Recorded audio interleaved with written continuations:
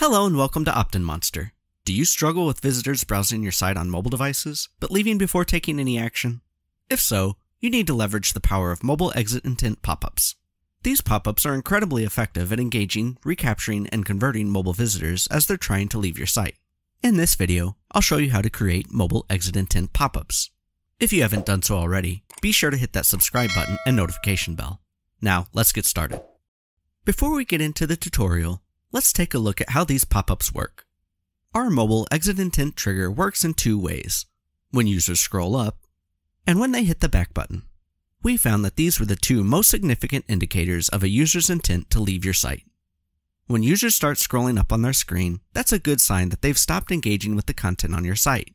Usually, they're trying to access the URL field to type in another site's address. Another common signal that people are leaving your site is when users click the back button.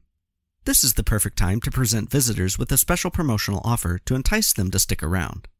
That's because most of the time, your users aren't leaving because they haven't found the information useful, they're leaving because they think they've gotten everything they can out of your content. But you can fix this by showing users how much more you have to offer. 9 times out of 10, it will be enough to convince casual browsers to stick around. Just check out this customer success story. Rich Page is a conversion optimization expert who increased conversions by 316% using OptinMonster's exit intent opt-ins. I've left a link to this case study in the description. Okay, now that we know how exit intent works on mobile, let's build a pop-up in OptinMonster and start converting visitors on mobile devices. The process is incredibly easy. From your account dashboard, click Create New Campaign in the upper right-hand corner and select the pop-up campaign type. Now we need to select a template. One of the best features of OptinMonster's template selection is that you can use the menus to filter your choices. By selecting mobile from the device menu, you'll bring up all the templates that are optimized for mobile devices. You can also choose to create a mobile campaign from scratch with our Canvas template, but for our purposes today, we'll go with Magnet. Name your campaign, assign it to your website, and now we're ready to start building.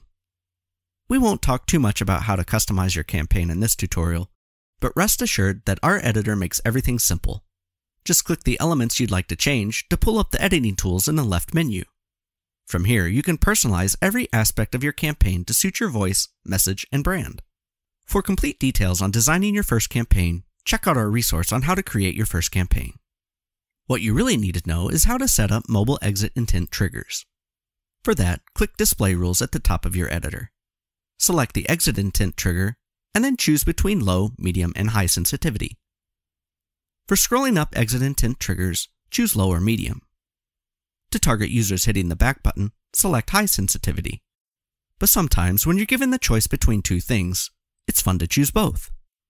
If you want to use both the scrolling up and back button exit intent trigger, simply set your first condition to low or medium for the scrolling up trigger. Then, click Add a new OR rule, select Exit Intent, and then for sensitivity, select High. Now you have two mobile exit intent triggers set as distinct conditions. By default, this campaign will appear on every page on your site. If you want to customize your display settings further, you can do so here. With OptinMonster, everything is fully customizable to make sure you're getting the right message in front of the right people at exactly the right time. Now, the only thing left to do is publish the campaign. To do so, head over to Publish and under Publish Status, select Publish. Then click Save, and that's it.